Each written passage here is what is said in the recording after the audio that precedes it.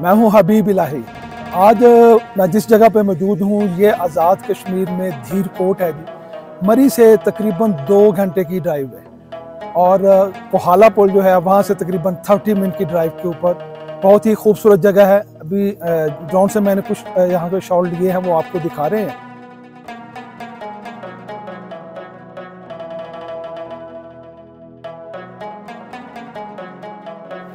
जिस rest house में मैं ये ठहरा हुआ हूँ बहुत ही खूबसूरत है जी, बहुत अच्छी लोकेशन के ऊपर है।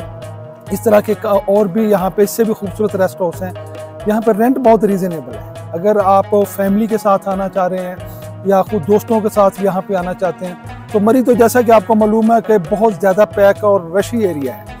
अगर आप ऐसी जगह जाते हैं जहाँ के बहुत ही सुकून हो, जगह भी अच्छी हो लोग भी अच्छे हों क्योंकि अब मरी में ये भी एक बहुत चीज़ अहम हो चुकी है कि लोग भी अच्छे हों। और यहाँ के लोग भी बहुत अच्छे हैं, बहुत कोऑपरेटिव हैं और जगह बहुत बहुत ही सुकून वाली जगह है। तो यहाँ पे जो रेंट है यहाँ का, वो भी बहुत रीज़नेबल है।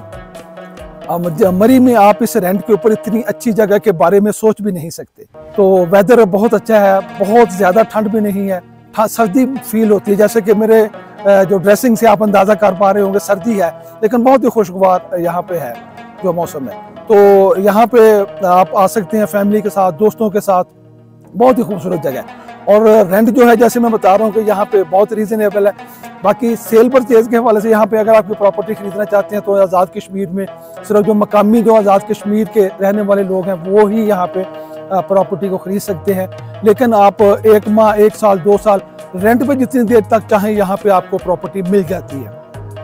मुकम्मल गेस्ट हाउस भी मिल जाता है और कुछ कमरे अगर आप लेना चाहते हैं तो वो भी मिल जाते हैं। बहुत ही रीज़नेबल प्राइस है जैसे यहाँ पे जो अगर आप कह लें कि दो तीन हज़ार रुपये या चार हज़ार रुपये रेंट पे आपको अच्छा एक कमरा जो है यहाँ पे मिल है। मज़ीद इन ताला और आपको अपडेट देंगे। आ, कुछ जगह और भी हम जा रहे हैं। वीडियो देखने के लिए आपका बहुत बहुत शुक्रिया। अल्लाह मजीद प्रॉपर्टी से रिलेटेड किसी भी मालूम या ताज़ा तरीन अपडेट के लिए फॉलो करते रहिए एडवाइस एसोसिएट का यूट्यूब चैनल